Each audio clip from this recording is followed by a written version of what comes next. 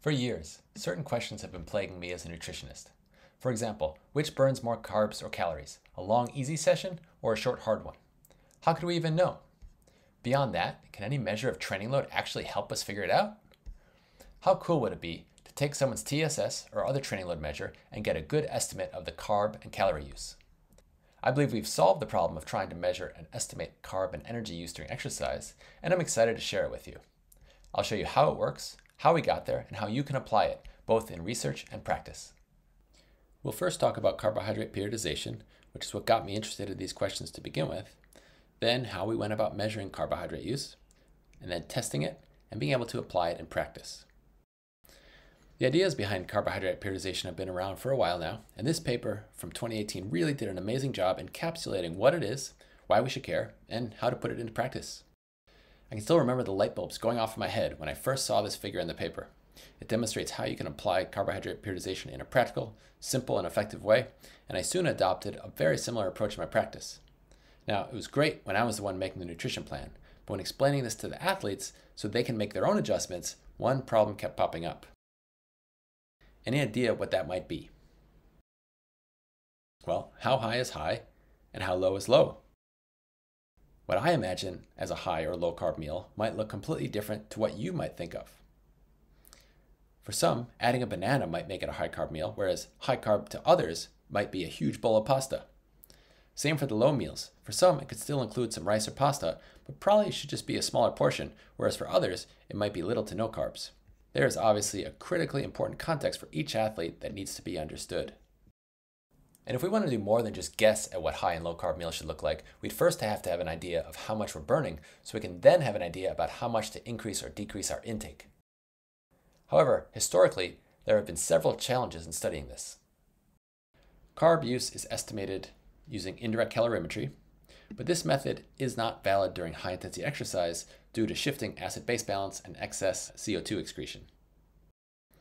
Changes in muscle glycogen are often used to estimate carb use, but this requires an invasive muscle biopsy with medical supervision and doesn't provide information on whole body carbohydrate use. Also, the level of glycogen depletion can vary with repeated sampling from the same person. Now, another approach is to calculate the contribution of the three energy systems. There's an aerobic system, anaerobic alactic system, and the anaerobic lactic system. And we calculate these during exercise based on measurements of oxygen consumption, the fast component of excess post-exercise oxygen uptake, and net changes in blood lactate concentration. This method has been used across a range of sports as diverse as cycling, boxing, running, and rowing, and provides an estimate of kilojoules produced by each system. Seeing this study was a light bulb moment for me because it showed how you could separate out the energy contributions from each system. Here we see the VO2 response to a sample bout of exercise and recovery. We can measure the aerobic system as the shaded area, and the change in lactate gives us information about the anaerobic system. However, this approach doesn't consider the substrate, so like fat or carbohydrate, used for energy production, or differences in efficiency with each substrate.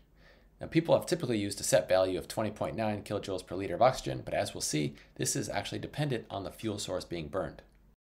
So, we need to account for high RER during interval training, find a way to convert the energy yield of the aerobic system from kilojoules to calories, and consider differences in energy cost with each substrate. In combination, the traditional gas exchange measurement and the three system approach to energy contribution could be used to estimate the total carbohydrate and energy cost of exercise at any intensity, but to our knowledge, this is yet to be reported. So let's first look at the aerobic energy system. Finding this study was key because buried deep in one of the tables was a way to calculate the energy yield from oxygen without needing a measure of carbon dioxide. Now, that may not mean much to most people, but it actually becomes quite critical during high intensity exercise because there's excess CO2 being excreted, and so it can solve one of our key problems. It also allows a calculation of energy yield that varies based on the substrate. This is a small snippet of the table that lists for every RER value the percentage of fat and carbohydrate being burned, and importantly, the energy yield for each. As we see, the energy yield can vary based on RER, and when you look at the full table, it goes between 19.6 and 21.1 kilojoules per liter of oxygen, which translates to 4.7 to 5.05 calories per liter of oxygen. So again, this approach solves both problems, excess CO2 leading to high RERs, and the differences in energy efficiency among substrates. Now, previous studies have chosen a set value of energy yield to use, but what if we could continually adjust the yield? Here's an example. In the first column, we see time in seconds.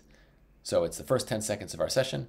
And next we have oxygen consumption, shown as VO2, RER, which tells us the mix of fat and carb being burned. And in the fourth column, we have the energy yield for that given RER value in calories per liter. While it doesn't vary too much in this 10 second period, over the course of a training session, they can vary by nearly 10%. For the anaerobic system, we can use the change in lactate from pre to post exercise to quantify the anaerobic contribution. That may sound like a bit of magic, but an understanding of the energy equivalents produced by the anaerobic system goes back nearly 100 years. What it works out to is that each millimolar lactate increase is equivalent to 3 milliliters of oxygen per kilogram of body mass. So this gives us a value of energy in kilojoules, but how do we get to grams of carbohydrate? So first, a small detour. How is it possible that we can deplete a huge amount of our glycogen during a single 30 second sprint? We could exercise for an hour at a lower intensity and still not burn as much. Well, this relates to the different efficiencies of aerobic and anaerobic energy production. Here we see a simplified view of energy production, with energy output from the anaerobic and aerobic systems shown as ATP. For one molecule of glucose or glycogen, we get 2 to 3 ATP produced from the anaerobic system, but we get about 34 ATP if it continues through aerobic energy production. If you're curious about the details, this is a paper you can refer back to. So thinking back to this picture, to produce 100 ATP from the anaerobic system, we need 34.5 molecules of glycogen. To produce the same amount of energy from the aerobic system, we only need 2.9 molecules. So what we can say is that anaerobic energy production is 11.8 times less efficient. This then can explain why we can burn through nearly half of our muscle glycogen in 30 seconds. The anaerobic system is expensive, but energy can be produced very quickly. I know this has been a lot to wrap your head around, so let's walk through some sample calculations. We'll take a snapshot in time where someone's VO2 is 2.9 liters per minute, their RER is 0.93, and they have a VO2 max of 3.8 liters per minute.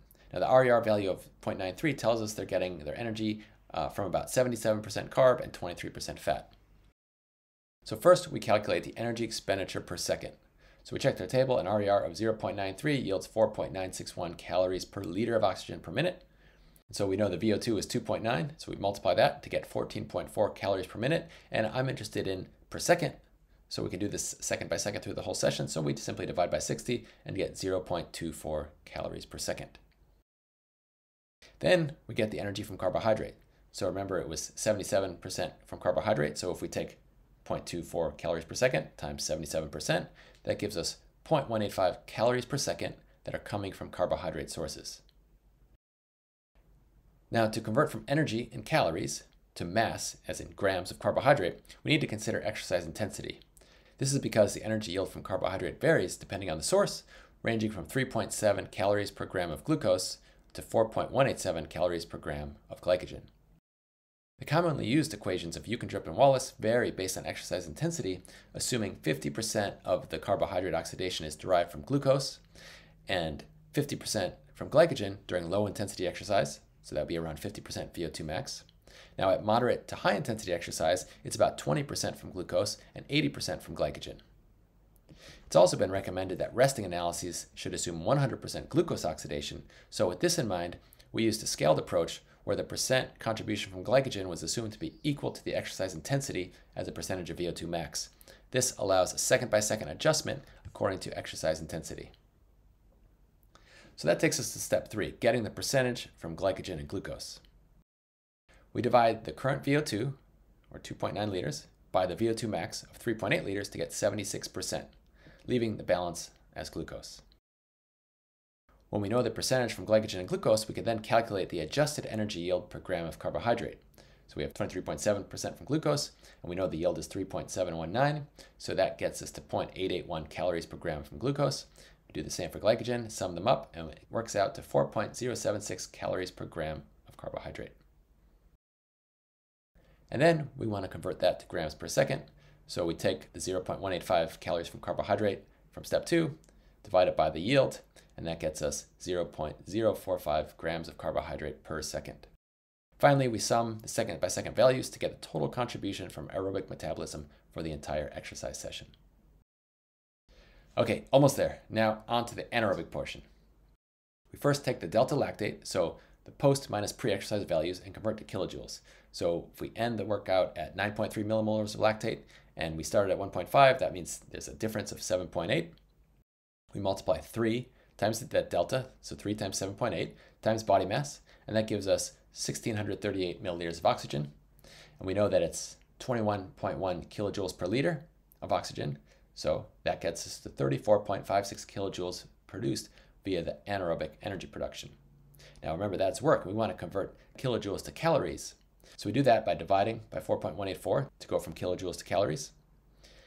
Then we divide by 4.187 calories per grams of carbohydrate. And then, importantly, we multiply by our inefficiency factor to get the carbs needed to create that given amount of energy we've used. So that gets us to 23.4 grams of carbohydrate from anaerobic metabolism. And again, that's for the entire workout. You might be thinking to yourself, this seems a bit confusing, but maybe makes sense. Can we stress test it on some real data? Yes, I'll show you two examples of how we did that.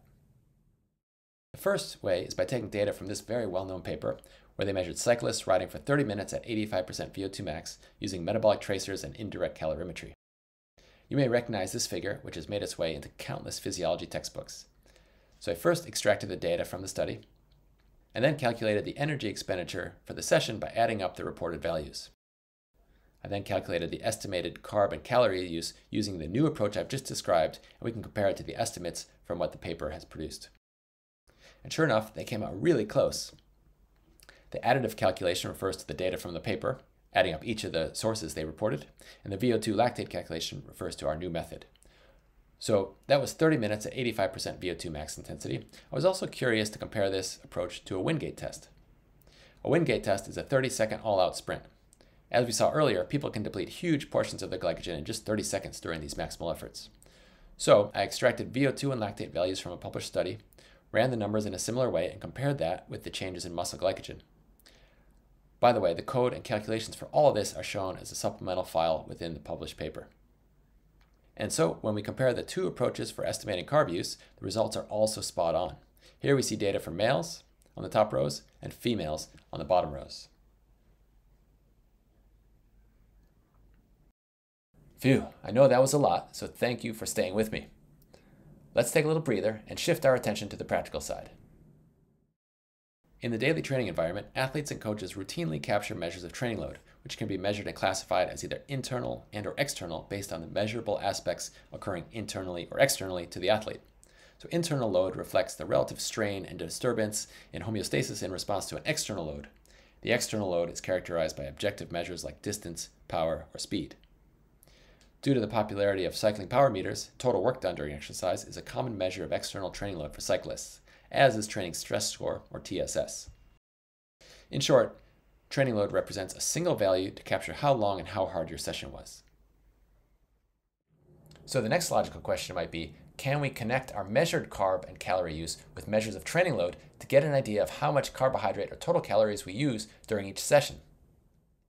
This would also give us some idea as to whether accumulating the same training load through long easy or short hard sessions caused the same amount of carbohydrate depletion. So we designed a study to address several of these key questions. We first had 15 cyclists each perform four lab-based training sessions. That allowed us to look at relationships between measures of training load and carbohydrate and calorie use. We could then model the relationships using training load along with some other measures like session duration or VO2 max. We then tested the models in a new set of cyclists, runners, and kayakers performing a similar yet different training session. So let's first take a short look at the types of sessions we used. First session was a graded exercise test so we could establish exercise thresholds and VO2 max. Then we have the four training sessions. So there were two easy sessions at 90% of power at the first ventilatory threshold. One was 30 minutes and one was 90 minutes. Then there were two interval sessions, one longer one, which included two sets of 5 by 3 minute best effort intervals, and a shorter one, which included two sets of 10 by 30 second on, 30 second off intervals. We also used the same 15 minute warm up across all four sessions, which allowed us to calculate the day to day variability in things like heart rate, efficiency, and RPE. In the bottom right, we see the session used for the validation portion of the study, which was 30 minutes easy, followed by 6 by 3 minute best effort intervals. So what did we find? This figure shows the six different training load measures, as well as the measured carbohydrate and calorie use, each separated by the four types of sessions. So each color is one of the different sessions. It's a lot to look at, so we'll focus in on just a few. The black lines indicate no significant difference between sessions for that given measure. If there's no black lines, that means the sessions are significantly different from each other. Let's first focus in on TSS. What this is showing is that TSS was the highest for the long interval session, whereas the long easy session and the short interval session led to the same TSS, and the short easy session had the lowest TSS. Looking at total carb use, we see the same pattern. Long intervals burn the most, long easy and short intervals burn the same, and short easy burn the least. Now it's not too surprising that the hard long session burned the most and the short easy one burned the least, but it is really interesting to see that the long easy and the short hard ones burned the same. And when we look at all of them, TSS is the only measure to accurately reflect that similarity. Total work done, which is commonly used, didn't even come close. Total work done was actually the same between the long easy and the long hard sessions, and much lower for the short hard session. So matching up carbohydrate intake with total work done could be slightly misleading. However, total work done and total energy expenditure do line up better than any other measures, so understanding your context and clarifying your question is critical. So this shows us the correlation values between each measure of training load and total energy use on the left and total carb use on the right. The higher the value, the more these measures are correlated, with one being a perfect correlation. The first number shown is the estimate, and the numbers in brackets are the 95% confidence intervals. The key takeaway is that all measures of training load are quite well correlated with both carb and calorie expenditure, but total work done and heart rate based TSS are the most highly correlated with total energy expenditure, and TSS, which is power based, has the best correlation with carb use. So the next step was to build models and then test them in a new group of athletes. The models for each measure of training load were slightly different, but typically included some measure of fitness like VO2 max or VT2, along with session duration and or sex or prior day training load. You can read more about the specifics in the paper. What I'll show you next are the results as predicted versus actual values for each participant and each measure of training load in the validation study. Each color here represents a different sport, and each of the six blocks represents a different training load measure. Along the bottom of each graph is the model predicted carb use, and along the side are the measured actual values. The diagonal lines represent perfect predictions, meaning they match up exactly with the measured values. What we see is the blue dots, or cycling, are generally lining up quite well, and there's a bit of an offset, albeit a consistent one, with the kayak and run data. This is most apparent in the bottom right corner for total work done. The points are off, but in a consistent manner, likely due to differences inherent to the mode of exercise, differences in the measurement of work, or both. These are the results for total energy expenditure, and we see a fairly similar story, where cycle data is the closest, and there are consistent offsets for kayak and run, particularly around total work done in the bottom right corner. The cool thing about that is we can do what's called a calibration adjustment. What that means is we fit a model that corrects the fitted line, and we get something like this, where the blue dots are now the unadjusted values and the pink dots are the adjusted one. So looking again at that bottom right corner, we can take those blue ones and tilt the line so that things are calibrated properly for each sport. So each sport and each training load metric has its own calibration adjustment, and we can more confidently apply these models across cycling, running, and kayaking. So finally, how can we actually use this with athletes? It will vary slightly depending on which measure of training load you prefer, but we can look at an example using TSS. If the TSS is 82 for a 75 minute session, and the athlete's VO2 at VT2, which is a measure that is fairly easily obtainable from any lab testing, but could also be estimated from FTP power, is 3.2. So the bottom line of numbers is something that looks complicated, but is simple math based on numbers provided in the paper. So in this context, we get an estimated value of 1,013 calories for this session. Now, depending on the sport, we can make the appropriate calibration adjustment. Again, these numbers are all included in the paper, see tables 2 and 3. And so we can get an estimated calorie expenditure that is adjusted based on the exercise mode. If it was a run session with those same values for TSS and, and duration, it would be about 860 calories, and for kayak, it would be about 850. So I know that was a lot, so we'll wrap things up here. To summarize some of the key points, all measures of training load correlate well with carbohydrate and energy expenditure during exercise. So TSS may be the best at matching carbohydrate, total work done is the best for energy expenditure, but any one can really be used effectively. When combined with other measures of fitness, energy expenditure, and carb use during exercise can be estimated accurately. And these models can be applied in running and kayaking when used with a calibration adjustment. So thank you again for your time. Feel free to reach out with any questions, and I'd love to know what you think and or if you're applying this.